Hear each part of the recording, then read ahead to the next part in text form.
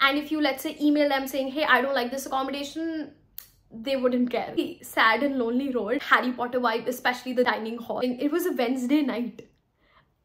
People were playing music over there. Drama is there so it really depends. If you get Unsworth Park you're the luckiest person on earth believe me okay? I would have just ran back home. But it's winter there so it doesn't work out. Please don't get offended. That's just my opinion which is not the safest. What to say? Oh okay.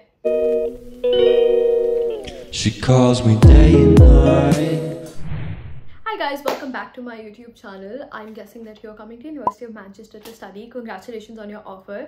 Next step is going to be to find an accommodation, which becomes a daunting task for a lot of people, I can understand. But if you're applying for uni accommodation, this will be the video for you. I'll tell you everything that I know about the uni accommodation. I've lived there for one year and in fact in the second year I'm going to live there again. And I'll also give you a brief about the private accommodation if you should choose a uni accommodation or private accommodation. So let's go let's get straight to the point and kind of accommodation that are available at University of Manchester. So the university doesn't actually own any accommodation. It has rented out various accommodations near the university and it is managed by the university itself. The first thing to look at is the bathroom. So you have the option of an ensuite bathroom or a shared bathroom. Now think about it. Do you necessarily need an ensuite, a private bathroom or can you also manage with shared bathroom? Because another aspect that comes into place is catered or self-catered. As far as I know, most of the uni accommodations, if they are ensuite, they also only have a self-catered option. So if you're someone who knows you will definitely not cook and you don't want to eat outside all the time, then you will have to go for the catered option, in which case you might have to settle with a shared bathroom. So these are two things that you first need to figure out to the accommodation that you want to apply for.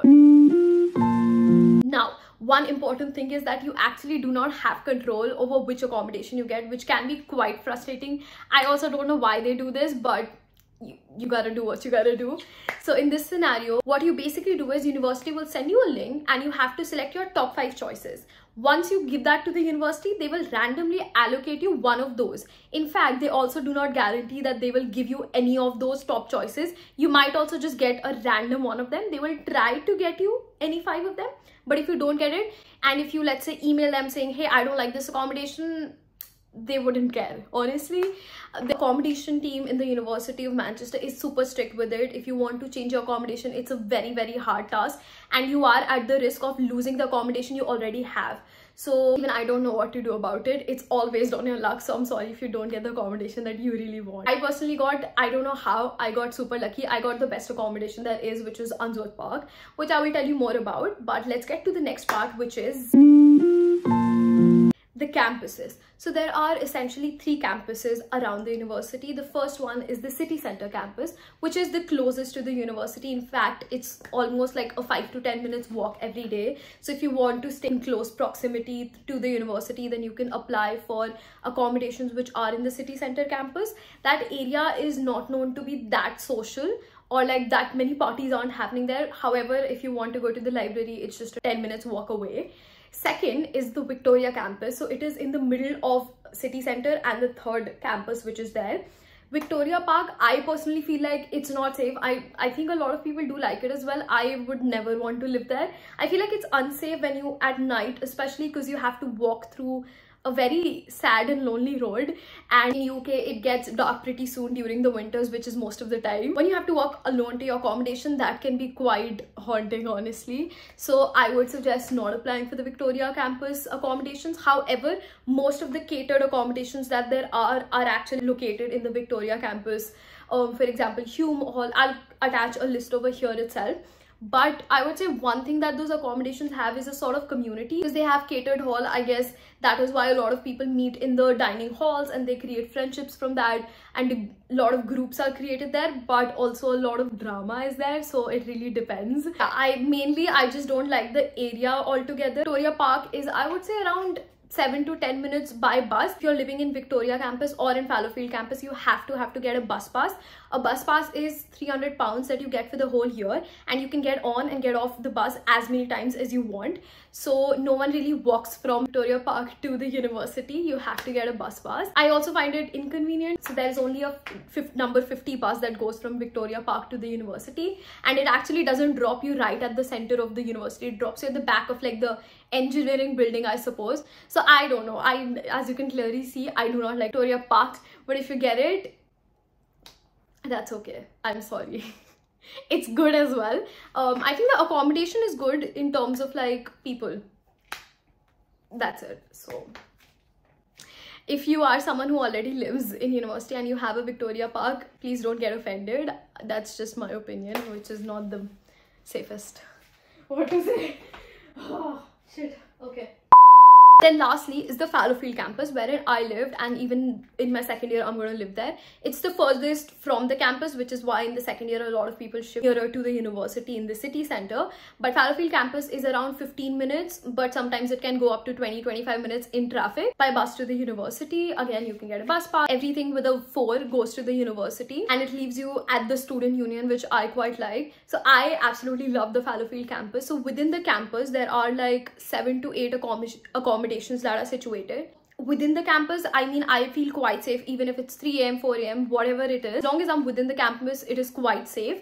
Outside of the campus it might not be that safe to just go alone at night but every time you walk out of you know your room there are all students around so you get that friendly like community vibe. The Fallowfield campus is also quite beautiful. I mean it's i mean it does have a lot of flowers and trees around but it's winter there so doesn't work out or someone who can just put on music and doesn't mind anything else because that's what I do.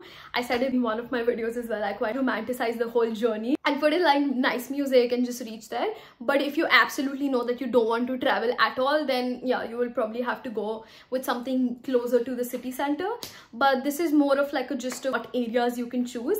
Lastly, Fallowfield is considered, I think Fallowfield as well as the Victoria Park are the more social one. If you're looking for a social life, then you cannot live in the city center in the first year. Fallowfield campus is quite lively and I think Victoria Park also keeps hosting a lot of like events wherein you can go. So yeah.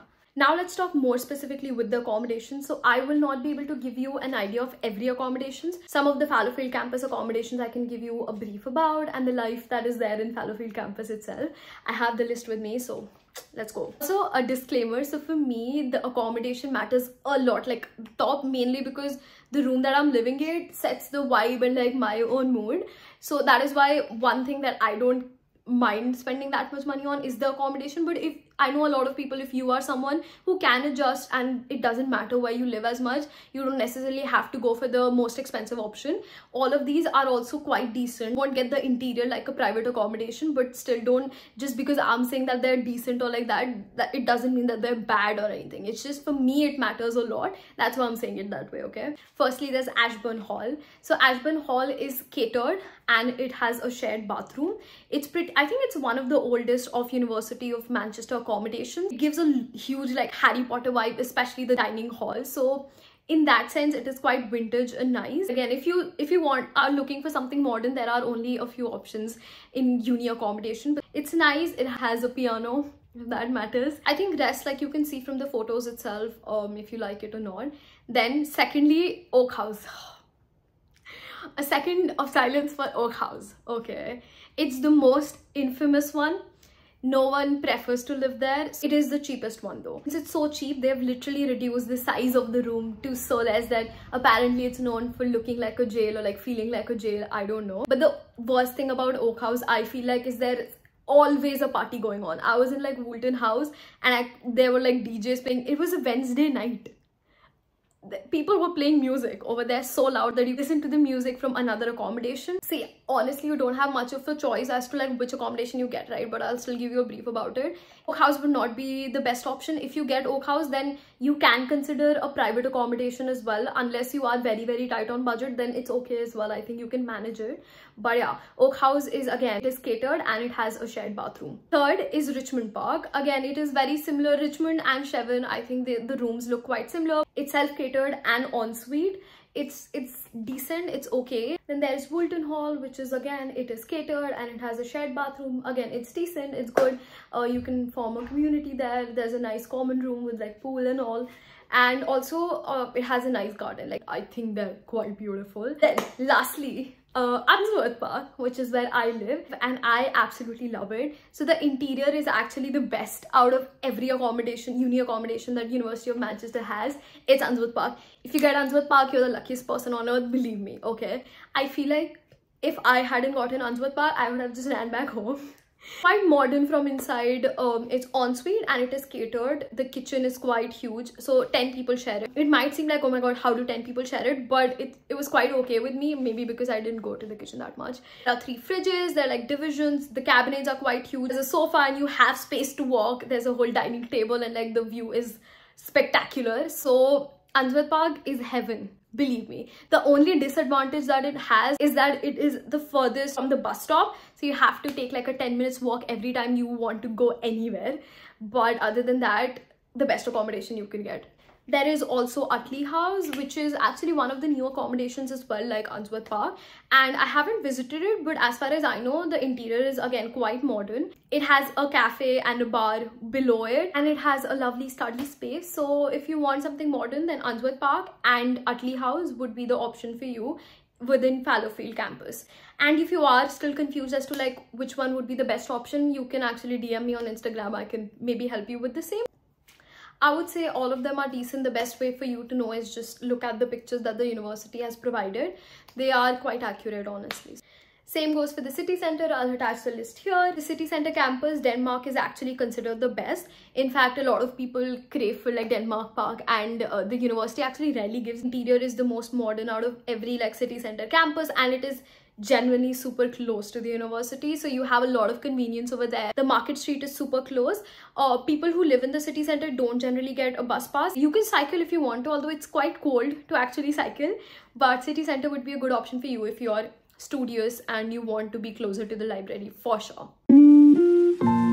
Okay so i'll answer uh, some frequently asked questions about university. First one is if you find the one you should never give her up I think it's the way life changes when in love, yeah.